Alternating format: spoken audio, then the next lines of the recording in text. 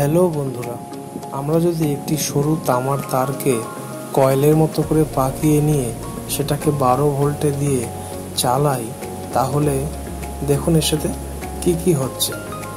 So আমরা এটাকে একটা কয়েল বানিয়ে নিয়েছি, সরু একদম তামার তারটা দেখুন।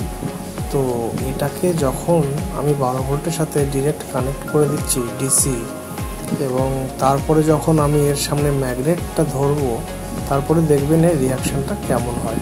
তো চলুন দেখে নিই আগে যেটা কেমন রিয়াকশান করে।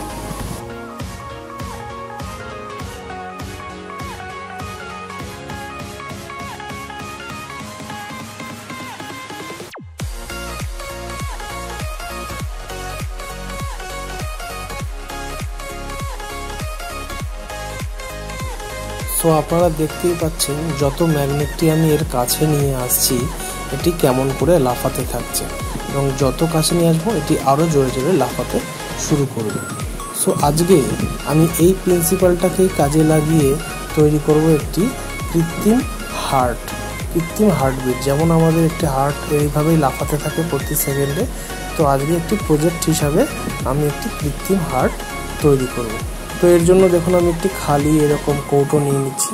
এবং এই কৌটোটার উপরে যে সিলটা রয়েছে, সেটাকে আমরা ভালোভাবে তুলে ট্রান্সপারেন্ট করে নেব। এবং তারপরে দেখুন আমি আরও কি কি করছি।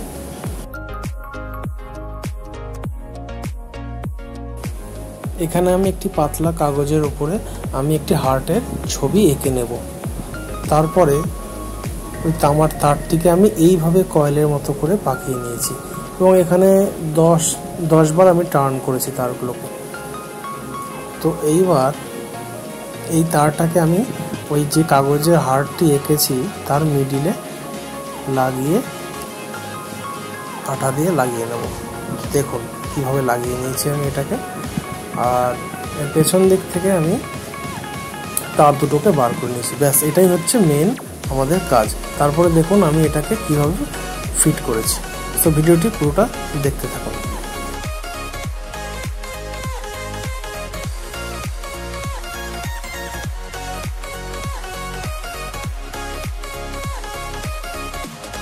এখানে দেখুন আমি বোতলটি নিচের অংশটি কেটে নিয়ে এর তলায় ম্যাগনেট লাগিয়ে দিয়েছি এবং ওই যে কাগজে হার্টটি তৈরি করেছিলাম, তার সাথে ডিরেক্ট দুটো তার আমি অ্যাড করে একদম বোতলের মাথার ক্যাপের ওখান দিয়ে বার করে দিয়েছি।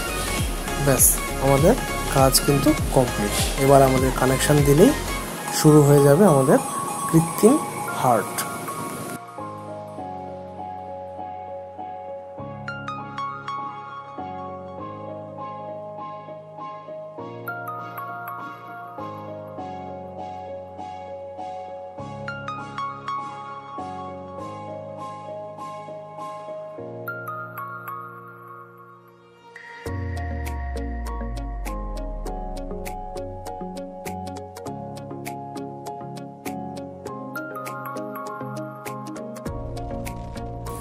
সো বন্ধুরা, আশা করি দেখতেই পাচ্ছেন যে কীভাবে এটি কাজ করছে।